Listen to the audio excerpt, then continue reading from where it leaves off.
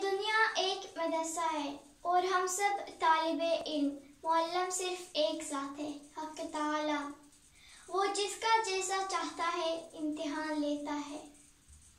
और अपने ख़ास बंदों को इस इम्तिहान के लिए, इस इम्तिहान के ज़रिए कुंतन बनाता है। हर किसी को अपना अपना इम्तिहान देना है। अल्लाह हर इम्तिहान के बाद तुम्हें हक अल्लाह सच्चे अल्लाह अल्लाह हाफिज़